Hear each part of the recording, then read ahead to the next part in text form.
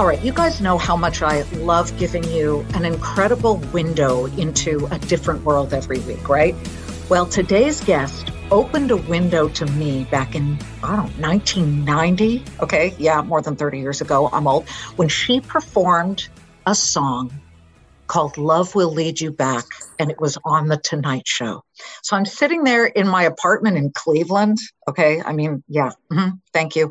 Blown away by this whippet of a woman on stage with this cascade of curly hair, but a voice that could blow the paintings off the wall. It was so strong. At that very moment, I became a forever huge fan of Taylor Dayne. It's a rare singer songwriter who debuts in the 80s. More than three decades later, their songs are still playing everywhere. And I'm not just talking about on the oldies stations.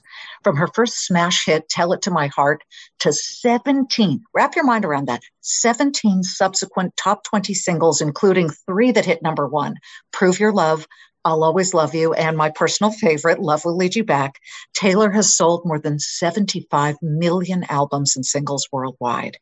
Award winning chart topper, massive success, appearances on Fox's The Masked Singer. All good, end of story, right? Oh, yeah, and she was on Broadway. Hardly. You guys know because we have talked about this. Success is not a final destination, it's a way station, sometimes followed by drops, detours, and yes, derailments. In July of last year, Taylor faced one of those. After going in for a routine colonoscopy, doctors discovered she had cancer. Taylor, of course, is not the only one to fall victim to this cruel disease.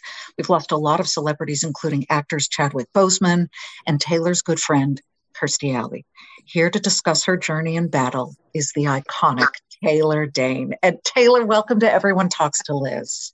Oh, thank you so much. What an intro. Amazing. Thank you, honey. Thank you. Oh my gosh, my, my pleasure. And I'm just hitting the ceiling here. I'm levitating. I'm so psyched to be talking to you.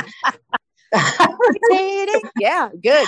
All I'm, right, I'm. Hearing, I'm hearing a little bit of noise in the background. Tell me where you are. Tell me what you're doing. I am now at Morongo Casino. We have a show tomorrow night. I'm on tour with Sheena Easton, and we're starting this tour up. So yeah, you're gonna hear casino. You might hear some, you know, jackpot winners. I don't know, or some blackjack winners. Either way. Oh yeah. my gosh, touring! That's so amazing. And tell me about the crowds. Oh, yeah, you you said three decades, so it's it's very very eclectic. It's kids, it's it's teens, it's it's you know people in their 50s that were fans of, you know, that started off in the clubs and now they're like, hey, we're going to come to the casino tonight, man. We're going out for the weekend, you know? Who knows? It's it's definitely eclectic. It's great. It's you know generational. I I love my audiences and well, uh, you know, I am um, I'm a Peloton fan. They play a lot of your songs, and and I'm always thinking about you know you go back to 1987, your hit song "Tell It to My Heart." That just lasted out on the scene. Who were you before that moment? Thank you so much. Yeah, yeah. I mean, look, 1987 was an amazing year. That's where you know I started with the single came out, and I, you know, I was just coming out of high school and is you know dreams where? are dreams. Where were you in high school? Uh, Baldwin. Baldwin Senior High, Long Island. Yep. And you were you were an island girl, Long Island girl, singing your heart out. Before then, where on on stage in school plays or little clubs? Oh, everything. You know, like I mean, yeah. I I mean, I, but I grew up. You know, it was right outside of New York City. So I mean, I was in New York, and I was in, in three different bands even before I broke. By the you know, remember eighteen. That was the magic age. So everything was happening everything everything i was in clubs and bands and doing everything i needed to do to you know being tenacious as usual. Did you know that tell it to my heart would would just hit the collective cortex of music lovers at that moment? You know sometimes when you when you start to sing a song or you you you write it you go this is this is going to be a smash hit. You know I think I knew that would love will lead you back, but this is this was during a time, you know, it, it, it, there was no yellow brick road. You know, there's no there's no um, connect the dots. It's not like you go to school and get a degree to become a you know a pop star.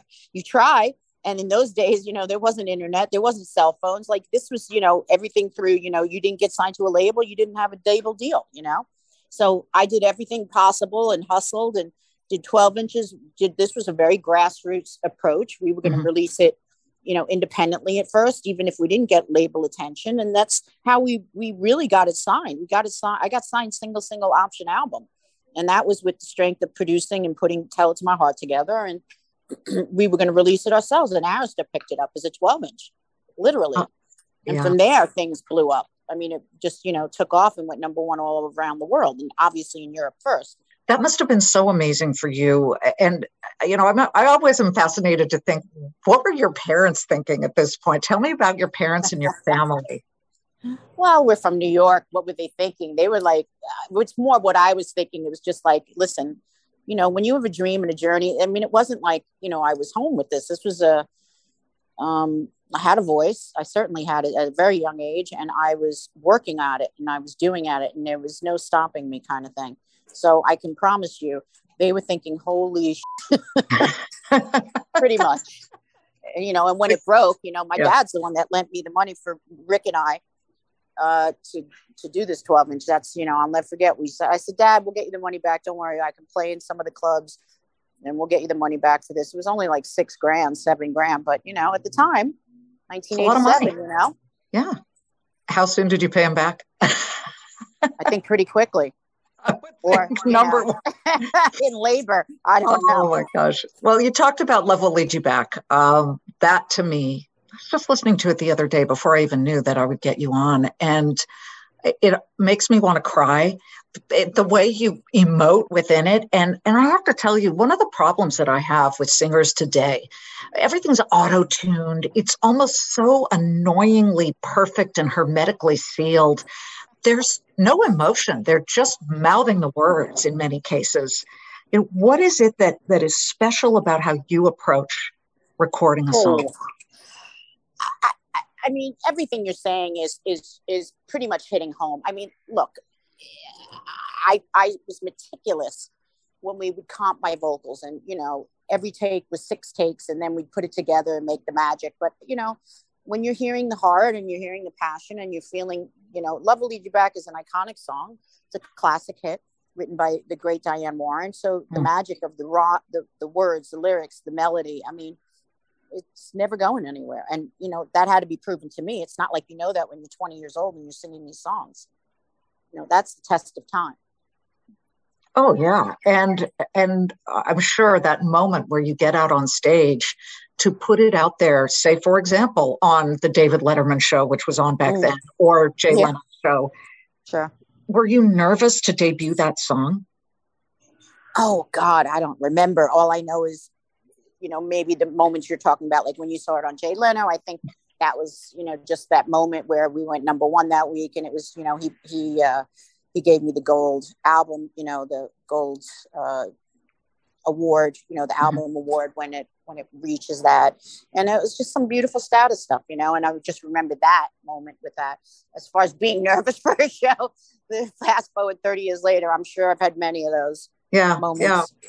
People always ask me, you get nervous before doing the newscast. And I, I always say I'm always a little bit nervous. And I think that it makes sure. you you know on your heels and on your toes and you make sure that you you know you want to aim to be the best. You aim for perfection. I mean you aim for the stars. Maybe snag the moon if you're lucky. Um right. so let's go and great after all of these hit songs. You, you make it to broadway. Aida. Yes yes yes yes.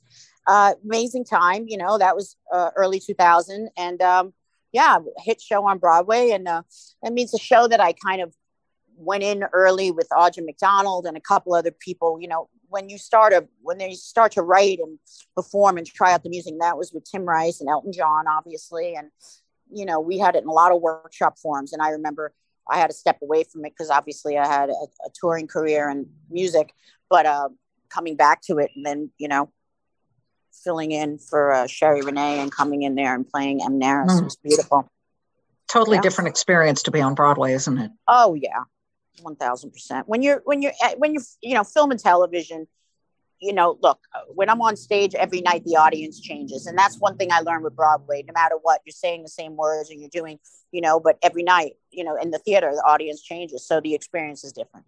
Yeah. Plus, you have to act. You're you're not Absolutely. just singing. You're definitely or dancing, and you're in costume, and multiple ones, as far as I'm concerned, for that part. Did you have any moments where things just didn't go right, and this you were really quite new to that? Oh yeah, we have a lot of games they play uh, somebody put a whoopee cushion under one of uh, I, I, don't even know what i said i think i said something a line where i said well that's a photograph and i, I don't think in uh, ancient egypt there was photography going on so yeah we had some bloopers one time i got locked in in the I, I got stuck in the elevator and in costume like that they had to like cut me out. It was just some yeah it's just stuff you'd never you know broadway's just to the end babe